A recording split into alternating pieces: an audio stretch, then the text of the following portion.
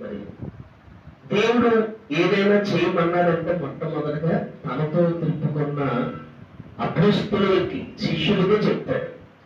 ఒకవేళ శిష్యులు ఏది చేయలేదు అంటే కనుక మనం కూడా చేయడానికి వీలు లేదు బైబిల్లో ఒక రెండు మాటలు చూపించి మన వాక్య సందేశంలోకి వెళ్తాను.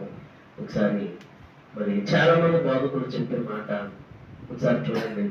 ఏమంటారు? క్రిస్మస్ ఎందుకు చేసుకుంటున్నారు అంటే కనుక స్వార్థ ప్రకటించడానికే అని అంటారు.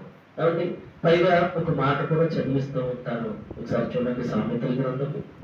ముప్పై అధ్యాయం ఆరు వచ్చినాన్ని చూద్దాం దేవుని వాళ్ళ అందరూ కూడా వాక్యాన్ని తెలియాలి సండే స్కూల్ పిల్లలు కూడా.